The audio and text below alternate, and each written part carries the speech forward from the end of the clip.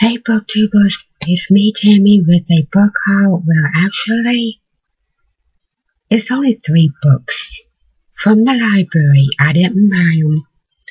I bought them from the library and my first one that I've already started is The Infinite Sea by Rick Yancey. This is book two of the fifth wave and they had this at the library so I said, I'm getting this book because I listened to the fifth wave already and so I'm going to read this one.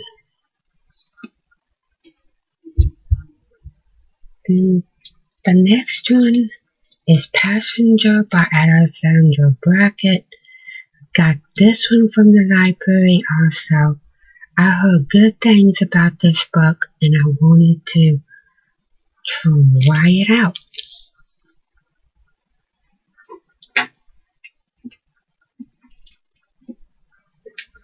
The last book I got is The Bane Chronicles by Cassandra Clare, Sarah Rees, Bracken, and Maureen Johnson.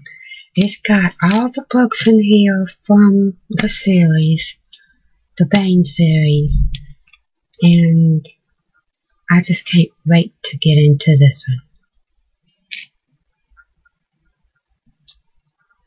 Well, that's all the books I have for now, and I will see y'all in my next book house soon. Bye.